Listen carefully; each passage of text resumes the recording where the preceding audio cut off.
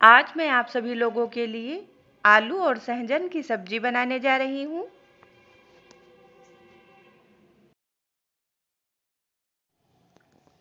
तो सहजन को मैंने पहले ही धुलकर रख लिया था और अब मैं चाकू की हेल्प से इसके रेसे को निकालूँगी।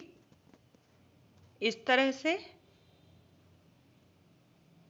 और इसे पीसों में कट करूँगी।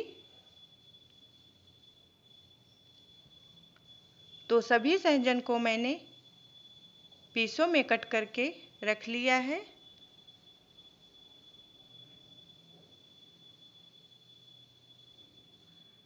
और अब मैंने लिए हैं कटे हुए आलू। इनको भी मैंने धुलकर रख लिया था।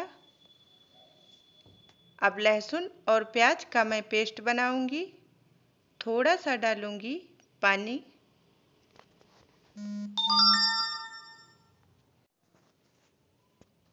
तो लहसुन प्याज का पेस्ट बनाने के बाद मैं इसमें डालूँगी दो चुटकी हींग,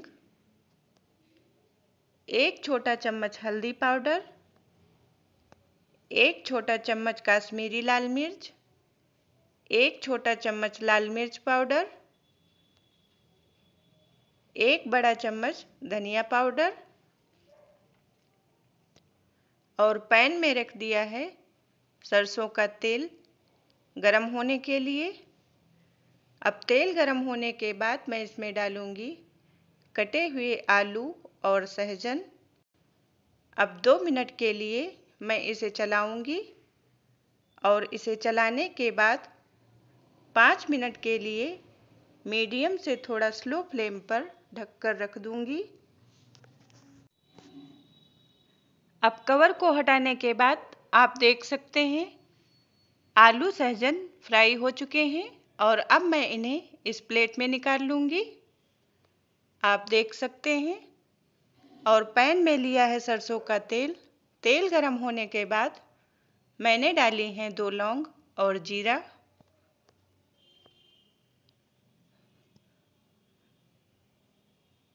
और अब मैं डालूँगी सभी मसाले जो मैंने निकाल कर रखे हैं।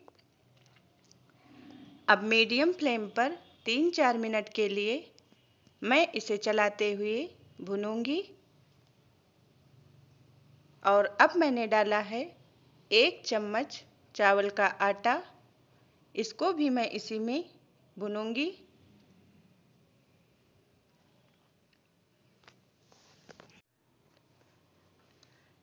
अब मसाले अच्छी तरह से भुनने के बाद मैंने डाला है पेस्ट वाले बर्तन से थोड़ा सा पानी और इसको मैं चलाऊँगी।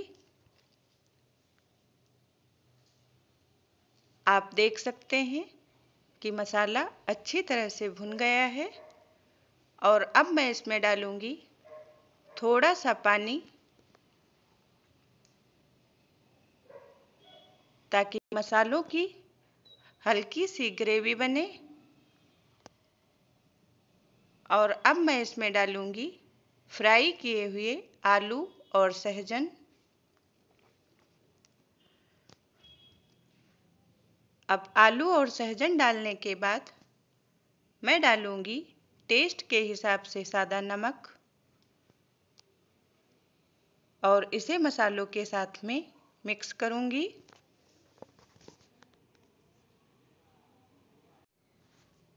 तो आलू और सहजन में मसाले अच्छी तरह से कोट हो चुके हैं और अब मैंने डाले हैं कटे हुए टमाटर। इनको भी मैं इसी में मिक्स करूँगी। और अब मैं इसमें डालूँगी ग्रेवी के हिसाब से पानी। पानी को मैंने गरम करके डाला है। आप अपनी पसंद के हिसाब से इसमें पानी कम ज़्यादा कर सकते हैं। और डाला है आधा चम्मच गरम मसाला। अब आठ मिनट के बाद मैं सब्ज़ी को खोल कर देख लेती हूँ कि आलू सहजन की सब्ज़ी कैसी बन रही है। इसे चलाने के बाद आप देख सकते हैं कि आलू सहजन की सब्ज़ी बनकर तैयार है। और अब मैं इसमें डालूँगी कटी हुई हरी धनिया और फ्लेम को ऑफ़ करने के बाद मैं सब्ज़ी को नीचे उतार लूँगी। आलू सहजन की सब्ज़ी में चावल का आटा डालने से सब्ज़ी का रसा थोड़ा थिक हो जाता है और सब्ज़ी का टेस्ट भी अच्छा आता है।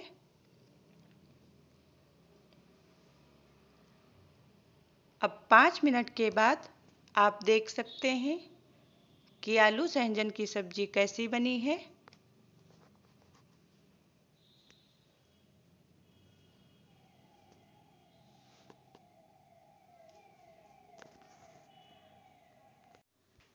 अब कुछ देर के बाद मैं सब्ज़ी को निकालूँगी इस बाउल में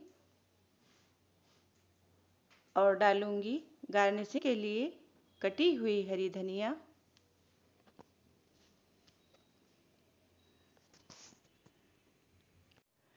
आप भी इस सब्ज़ी को एक बार इस तरह से बनाकर ज़रूर ट्राई करें और आप देख सकते हैं कि सहजन अच्छी तरह से पक गए हैं। आप इस सब्ज़ी को अपनी मनपसंद रोटी या चावल के साथ में खा सकते हैं। अगर आप सभी लोगों को मेरी ये रेसिपी अच्छी लगे तो लाइक करें, कमेंट करें और मेरे चैनल को सब्सक्राइब करें।